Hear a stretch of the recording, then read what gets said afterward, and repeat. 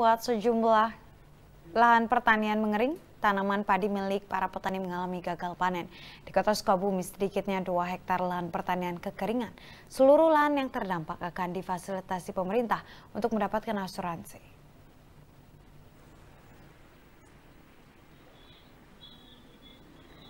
Tiga bulan lebih hujan tidak turun di kota Sukabumi. Sejumlah lahan persawahan milik para petani mengering.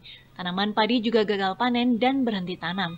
Di kota Sukabumi sedikitnya 2 hektar lahan pertanian kekeringan.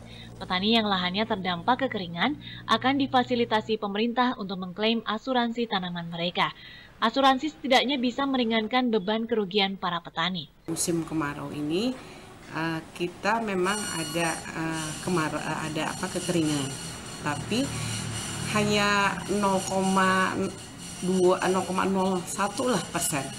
Dari 1484 hektar itu hanya 2 hektar. Nah itu juga sudah di ke, 2 hektar.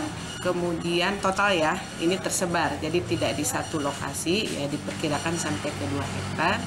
Dan ini juga sudah e, diklaim kita karena mereka sudah ikut asuransi jadi uh, kemarin itu kita fasilitasi untuk yang kekeringannya itu uh, untuk mendapat penggantian dari asuransi.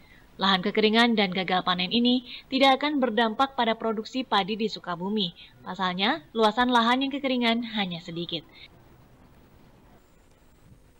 Budi Setiawan, Bandung TV.